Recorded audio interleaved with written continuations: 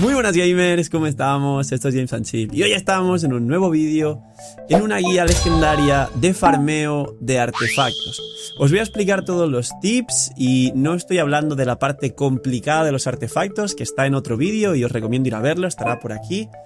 Eh, gracias editores por poner todo en pantalla y eres el equipo del canal sino algo más sencillo para cualquier jugador, los casuals también, para que prioricéis y gestionéis cómo se farmean artefactos, tengáis un pequeño orden para que A, sobre todo, os estreséis mucho menos, B, entendáis cómo funcionan y podáis tener un poco más de orden y tranquilidad a la hora de farmearlos, y C, sintáis que poco a poco vais cumpliendo las construcciones y objetivos de lo que queréis construir en el juego. Así que dicho esto, dejar un buen like, una buena ulti de Bennett, suscribiros, dejar un buen comentario para el algoritmo, nos vemos en los directos debajo en la descripción. Y vamos con la guía legendaria de artefactos.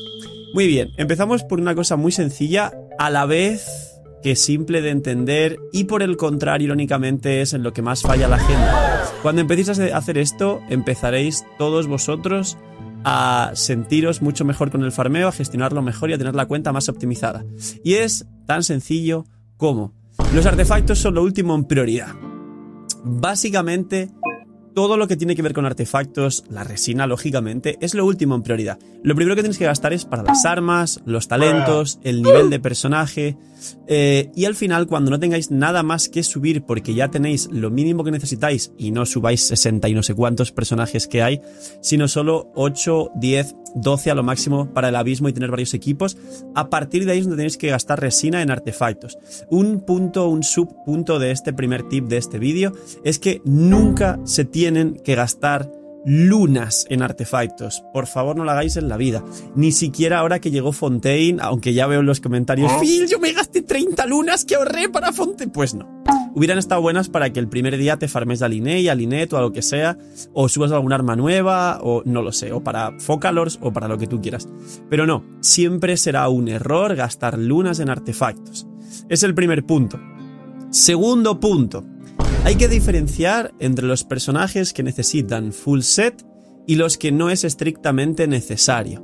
Hay personajes como por ejemplo, y voy a hablar de tres de los equipos más jugados a día de hoy, que serían los Raiden National, los Hyperbloom y los Permafrost. Son los tres equipos más jugados y de los más fuertes de Genshin.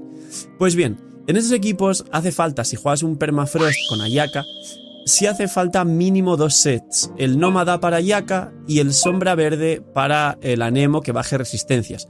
Pero a partir de ahí los otros personajes, pues por ejemplo el hidro como puede ser Kokomi o Mona, o el otro crío como puede ser Shinge o Rosaria o Diona o lo que quieras poner, no tienen que ir full set. Sí que podría ir nobleza Diona o nobleza Mona o geoarmada Kokomi, pero no te va a dar una sala si no llevas eso. Con lo cual hay que diferenciar entre qué personajes van full set y qué no. Os termino de poner los ejemplos y es que, por ejemplo, en los equipos de Hyperbloom, un personaje de todo el equipo debería llevar el set de recuerdos del bosque y el personaje que vaya a triple maestría electro, como puede ser Cookie o Raiden, sí debería llevar un full sueñosaurios o un, un full flor olvidada del paraíso para maximizar su daño, aunque realmente tampoco es tan importante y podría llevar dos y dos de maestría. A partir del resto del equipo puede ir dos y dos, no hace falta que lleves otro full set. Y terminamos con el Raiden National. En el Raiden National normalmente si Raiden es C0 el mayor daño del equipo va a ser de Xiangling, con lo cual ahí solo deberías buscar un full set en Xiangling, Raiden puede ir Favonius 2 y 2 y no pasa nada si es C0. Y solo debería ir Xianglin full emblema del destino, o si llevas la pala full sueñosaurios, y va a ir muy bien igualmente. Y si acaso Beret full nobleza, pero entonces Raiden y Shinkyu podrían ir dos y dos. Y solo son tres ejemplos para que lo entendáis. La gente se obsesiona con sacar full set para sus personajes porque los ama. Raiden es muy buena, es increíble y podría ir full emblema, pero realmente Raiden National puede ir dos y dos. Y en el futuro, cuando sacáis alguna constelación o queréis llevarla de full carry en algún equipo, pues le sacáis un full set. Cuando aprendáis a separar los personajes que van full set y los que no, priorizaréis los que van full set y los que no, mientras los vais construyendo poco a poco con estos dos y dos para que mínimo hagan lo que tienen que hacer. Es decir, en el siguiente subpunto dentro de dividir entre full set y no, el primer subpunto de esto sería Primero hay que tratar de, si vais a X set, pongamos el ejemplo de Nómada del Invierno en Ayaka, es un ejemplo que he puesto, pues habría que sacar primero el full set para Ayaka, que sí es importante y sí es necesario, con el main stat importante, a pesar de que los substats sean malísimos, es decir, un reloj de ataque, un cáliz de bono daño crío y un casco de daño crítico, ya que la probabilidad se gana en el set son 40, más 5 base 45, más 15 la consonancia crío 60 y luego pues un poco más en substat, es muy fácil llegar a 70 un poco más. Y básicamente dentro de haber sacado los main stat con substat malísimos, todo defensa plana y ataque plano y todo lamentable. Simplemente dentro de eso buscar ese mínimo de equilibrio. Eh, Ayaga que necesita como equilibrio mínimo de 140 de recarga para tener permaulti. La proporción, la que te dé porque tendremos ítems malos.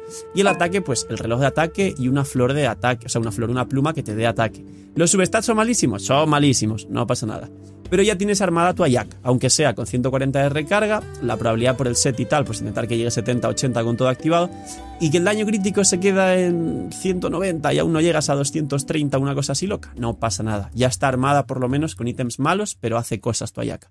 Y a partir de ese mínimo equilibrio, con el ejemplo que os estoy poniendo, que aplica para el resto de personajes full set, ir poco a poco terminando de construir ese personaje, refarmeando, o en el caso de ese set que está en relicario, el nómada, terminarlo en relicario. Luego, como la mayoría de personajes pueden ir dos y dos, como vas farmeando puedes rescatar, por ejemplo, el set del ejemplo que os he puesto de Nómada, dos piezas, pues ir rescatando dos piezas que vayan saliendo bien de Nómada del invierno para llevarlas pues en Shinge para llevarla a dos y dos, o en Rosaria, o en quien sea que vaya a dos y dos. Lo mismo cuando vayas a farmear el emblema para Xiangling, pues se van quedando dos piezas, para Xinkyu o un full set residual para Xinkyu, para Yelan, etcétera, etcétera, etcétera. Siguiente paso. Hay que, hay que ver para priorizar a qué dominio vas a ir si el set está o no está en relicario. Es decir, el relicario básicamente sirve para que acumules todos los ítems de 5 estrellas que no sirven, para que gestiones correctamente la experiencia y solo gastes ítems de 1, 2, 3 y 4 estrellas y guardes los de 5 para el relicario y puedas quemar todos estos ítems de 5 estrellas en proporción 3 a 1, pero del set que tú quieres. Como veis, y habrá vídeos, estés poniendo los editores en pantalla por aquí, en directo hago muchos relicarios de mucha gente, salen barbaridades, salen ítems muy buenos como estaréis viendo, un Cali de nómada, un, reloj de nobleza para Bennett, perdón, con probabilidad de daño, ataque por ciento, recarga, un casco también, justo el muchacho que recibió esto me dijo, haz eh, eh, nobleza porque no tengo a Bennett bien equipado. Además fue uno de los editores, fue a Tuma. Eh, y básicamente esto pasó pues el último día de stream, pero según en todos los streams que van cajeando ocurren cosas. Y básicamente hay que priorizar los sets que no estén en relicario, volviendo al punto. Es decir, por ahora los sets que no están en relicario son eh, todos los de Sumeru, así resumiendo, el Recuerdos del Bosque y Sueñosaurios, el set de Flor del Paraíso con el set de Scaramouche, el set de Full Hydro con el set de Degia, que es básicamente la gente que lo ha ido ahí para farmear a Degia o para farmear dos piezas de vida por ciento para llevar vida y vida con, con Geo Armada para Nilou, por ejemplo, y alguna cosa así. Es mi caso también, si soy. O para Baizu. Y obviamente los nuevos sets de Fontaine, el, cazador fantasmal y el otro que te da daño en la elemental. Y de ahí todo lo que vaya sobrando ya vas a relicario a sacar lo que necesites para el resto de personajes.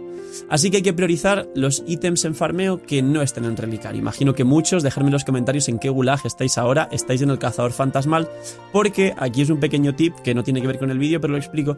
Es posible que si hay personajes futuros de Fontaine que no solo pierdan y ganen vida ellos mismos como es ahora, sino que hagan que pierdan y gane vida todo el equipo, como puede ser Focalor y Arlequino, esto no es un leak, tomarlo como broma.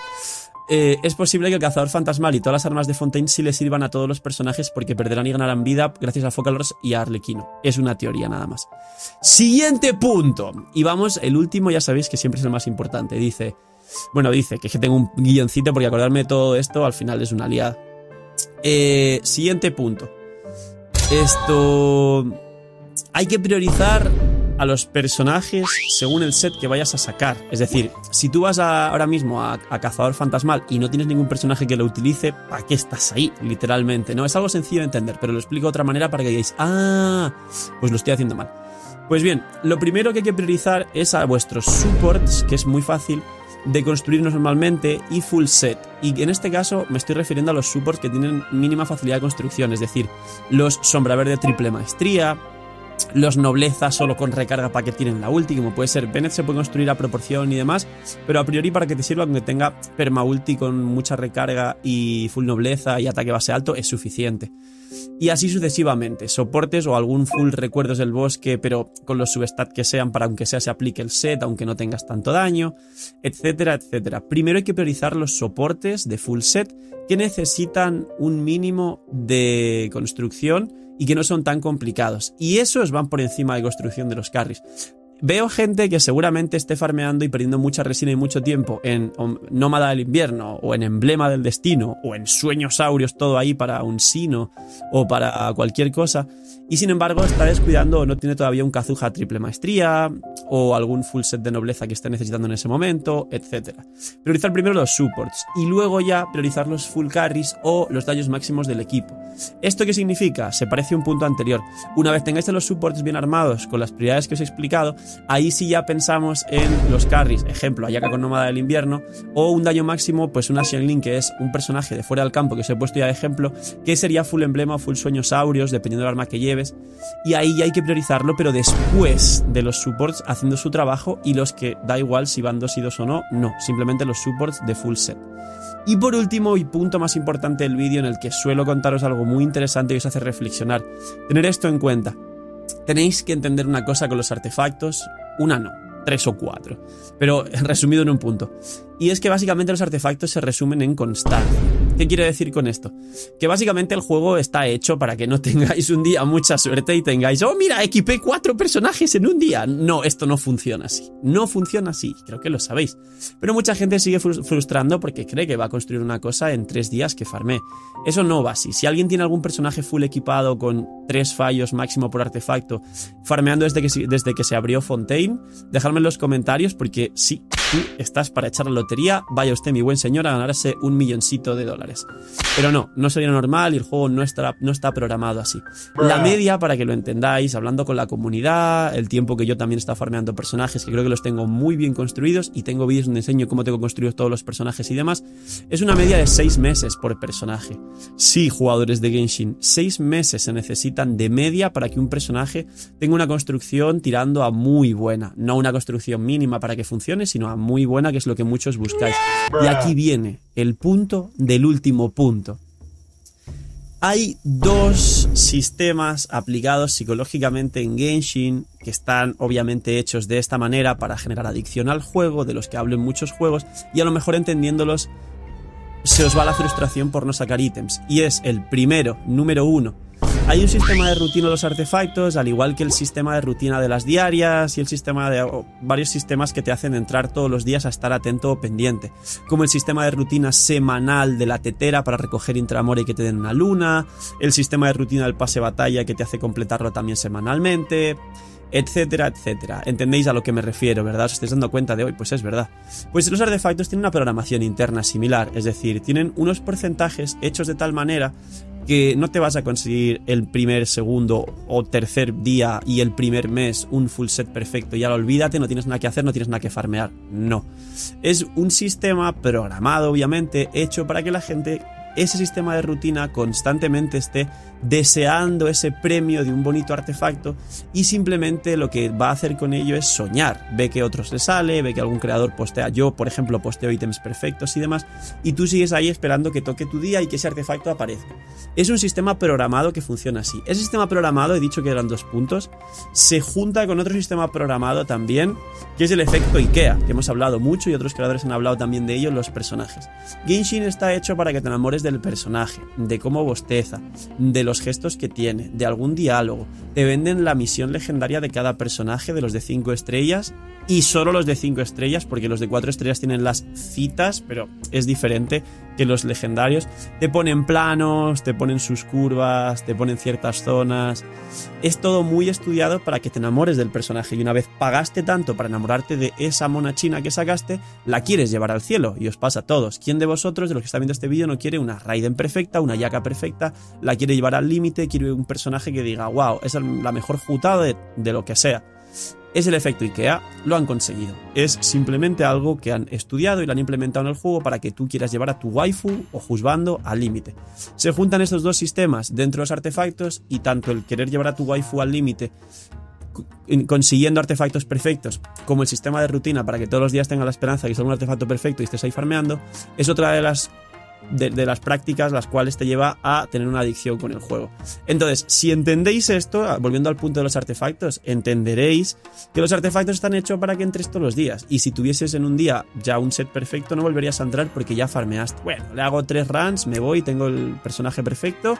Y, ya no quiero sacar más artefactos. Vaya, pues hoy no voy a hacer las diarias y los artefactos, porque qué aburrido. Y en tres días de repente te diste cuenta de que entraste una vez en tres días y no tendrían lo que te quieren generar. Ahora que entendéis esto, esta es la manera de farmear artefactos. Si entendéis el último punto, empezaréis a tener esa paciencia de simplemente farmear y cuando va saliendo, va saliendo. Solo bloquear los artefactos que tengan 4 substat o que de los 3 substat 3 sean buenos después de haber tenido el main stat y simplemente un full set al menos que os resuelva el día. Y de esta manera tendréis mucha más paz, mucha más calma, tendréis organización, guardaréis muchísima experiencia también y guardaréis ítems de 5 estrellas que no tendréis que quemar para subir artefactos y así los podréis quemar en relicar y tendréis más posibilidades de sacar antes piezas perfectas para vuestros personajes. Si queréis más información de artefactos, como el tema de la programación y todo lo demás, pues por aquí estarán dejando los, los editores el vídeo, porque hay un vídeo donde hablo más en profundidad de cómo están programados y hechos literalmente para que siempre salgan mal y siempre salga defensa. Pero entendiendo esa programación se puede saber también si algún artefacto, ya que están programados siempre para ir mal, cómo funciona y si tienes la posibilidad de que en ese momento pueda irse bien. Ya que al programarlo de una manera siempre quedan ahí vacíos legales, ya que la aleatoriedad en programación, los que sabéis de programación, no existe. Tú programas que algo salga con más o menos prioridad, etc. Así que poquito más. Espero que hayáis disfrutado de este vídeo, que hayáis aprendido muchísimo, que hayáis tomado un poco más de paciencia con los artefactos y que después de tener estas prioridades en mente, seguramente equilibréis mucho mejor cada una de las cuentas. Dejar un buen like, una buena ulti de Bennett, suscribiros, dejar un buen comentario para el algoritmo, nos vemos en los directos aquí abajo en la descripción y poquito más. Cuidaos mucho, tener muy buen día y chao.